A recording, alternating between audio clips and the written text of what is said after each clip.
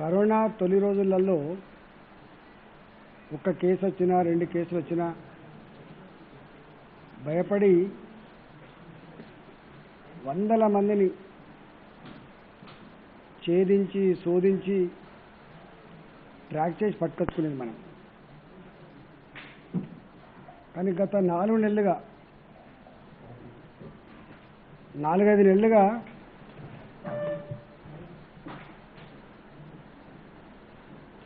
ఈ కేసులు చూసిన తర్వాత ఎంతైతే భయపడ్డామో ఏ విధంగానైతే ఆనాడు కొన్ని కేసులు వచ్చినా కూడా వెంటాడి వేటాడి ట్రేస్ చేసి టెస్టులు చేసినామో ఇవాళ ఆ పరిస్థితి లేదు. ఇప్పటికే తెలంగాణలో ఈ దేశంలో స్వైన్ ఫ్లూ లాంటి వైరస్ని నిమోనియా లాంటి డిసీజ్ని అనేక రకాల వైరస్ డిసీజ్ని ఎదుర్కొన్న రాష్ట్రం కాబట్టి ఈ వైరస్ విషయంలో కూడా మనకు ఒక అంచనా వచ్చింది. మరీ గంత భయపడాల్సిన అక్కర్లేదని దీనికి అంటుకోగానే చంపగలిగే శక్తి లేదని మనకు ఆచరణలో ప్రూవ్ అవుతా ఉంది. బాధాకరమైన అంశం ఏంటంటే ఇంతకంటే భయంకరమైన వైరస్లు ప్రపంచంలో అనేక దేశాల్లో వచ్చినప్పటికీ వాటికి ఇంత ప్రచారం జరగలే. ఈ వైరస్కు మాత్రం ప్రపంచంలో ఉన్న అన్ని దేశాల ప్రజలకి కంటి మీద కొనుక్కు లేకుండా చేయడమే కాకుండా ఒక రకమైనటువంటి మానవ సంబంధాలను కూడా అది ధ్వంసం చేసింది. కానీ ఇదంతా కూడా ఇప్పుడిప్పుడే తెలిసొచ్చి కొంత తప్పని కూడా అర్థమవుతా ఉంది. నేను ప్రజలకి విజ్ఞప్తి చేస్తున్నాం. అప్పటి నుంచి ఇప్పటిదాకా అనేకసార్లు విజ్ఞప్తి చేసినాం. వర్షాకాలం వచ్చింది కాబట్టి అనేక రకాల జబ్బులు వచ్చే ఆస్కారం ఉన్న సమయం కాబట్టి మేము మళ్ళీ మళ్ళీ విజ్ఞప్తి చేస్తున్నాం ఏ ఇంట్లో ఏ వ్యక్తికి జలుబు జ్వరము దగ్గు లేదా ఇతరత్ర గుండె నొప్పి లాంటి సమస్యలు వచ్చినప్పుడు తక్షణమే పిఎస్సిని కన్సల్ట్ చేయండి. ఇప్పటికే గత నాలుగైదు నెలలుగా గ్రామీణ ప్రాంతాల్లో మా ఆశా వర్కర్లు మా ఏఎన్ఎంలు ఇంటింటికి సర్వే చేసి ఏ లక్షణాలు ఉన్నప్పటికి కూడా మా పిఎస్సీలకు పంపించి అక్కడి నుంచి టెస్ట్ చేసి పై హాస్పిటల్కి పంపిస్తూ ఉన్నాం. ఈ మధ్య కాలంలో గ్రామీణ ప్రాంతాల్లో ఆర్ఎంపీ డాక్టర్లుగా ఉన్న వాళ్ళకు కూడా మేము ఇన్స్ట్రక్షన్స్ ఇచ్చినాం. మీ దగ్గరికి ఇలాంటి కోవిడ్ లక్షణాలు కలిగిన పేషెంట్ కనుక వస్తే మీరు ట్రీట్ చేయకండి. మీరు మా పిఎస్సికి పంపించండి అని చెప్పి వాళ్ళు కోవడం జరిగింది.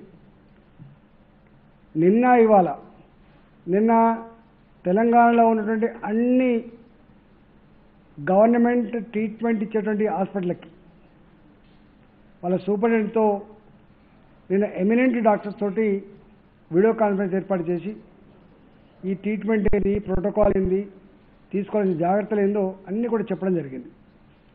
ఇవాళ కూడా అన్ని జిల్లాల డిఎంఎడ్హెచ్ఓలతో డిప్యూటీ డిఎంఎడ్హెచ్ఓలతో ప్రోగ్రామ్ ఆఫీసర్లతో ఇవాళ కూడా వీడియో కాన్ఫరెన్స్ పెట్టినాం. పెట్టి వాళ్ళకు ఒకటే ఇన్స్ట్రక్షన్ ఇచ్చినాం. ఏ గ్రామంలో ఆశా వర్కర్ చేత ఐడెంటిఫై కాబడ్డా ఏ సబ్ సెంటర్ కింద లక్షణాలు కలిగిన పేషెంట్ ఐడెంటిఫై కాబడ్డా. పిఎస్సిలో తప్పకుండా టెస్ట్ జరగవలసిందే. టెస్ట్ కనుక జరిగిన తర్వాత పరిస్థితిని బట్టి ఆయన రికమెండ్ చేయాల్సిందే. ఆయన ఇంటికి పంపించుకొని హోమ్ హోమ్ హోమ్ ఐసోలేషన్లో పెట్టి ట్రీట్మెంట్ ఇవ్వన్నా లేదు డాక్టర్ పర్యవేక్షణలో పిఎస్సి స్థాయిలోనే సరిపోతుందా? లేదు హయ్యర్ ట్రీట్మెంట్ కోసం పంపన్నా? అదంతా అక్కడ డిసైడ్ చేయబడుతుంది. అంటే ఒక్క మాటలో చెప్పాలంటే పిఎస్సి స్థాయిలోనే పేషెంట్ యొక్క కండిషన్ బట్టి ఎక్కడ రెఫర్ చేయాలనో అవన్నీ కూడా చేసేటువంటి ఆదేశాలు ఇచ్చినాం. రెండవది పేషెంట్ కనుక పిఎస్సికి వచ్చినా లేదా సిఎస్సికి వచ్చినా ప్రభుత్వపరమైన హాస్పిటల్కి వచ్చినా ప్రైవేట్ హాస్పిటల్కి వచ్చినా టెస్ట్ చేయకపోయినప్పటికి కూడా కోవిడ్ నిర్ధారణ కాకపోయినప్పటికి కూడా తక్షణమే హాస్పిటల్లో జాయిన్ చేసుకొని ముందుగా ఆయనను స్టెబిలైజ్ చేసుకొని ముందుగా ఆయనకి ట్రీట్మెంట్ అందించి ఆ తదుపరి టెస్ట్ చేసుకొని ఒకవేళ కోవిడ్ పాజిటివ్ అయితే కోవిడ్ ట్రీట్మెంట్ని లేదా అదర్ రిలేటెడ్ ఇష్యూస్ ఉంటే అదర్ హెల్త్ ఇష్యూస్ ఉంటే అదర్ ట్రీట్మెంట్ ఇచ్చే దానికోసం కూడా మేము ఆదేశాలు ఇవ్వడం జరిగింది.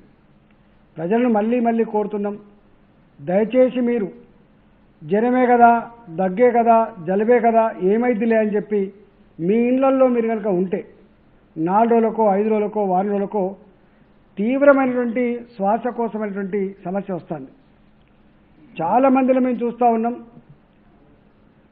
జ్వరాలు వచ్చినా ఇతర సమస్య వచ్చినా ఇళ్ళలో ఉండి ఐదు రోజులకు మాకు శ్వాసార్థలేని చెప్పి మాకు ఫోన్ చేస్తూ ఉన్నారు.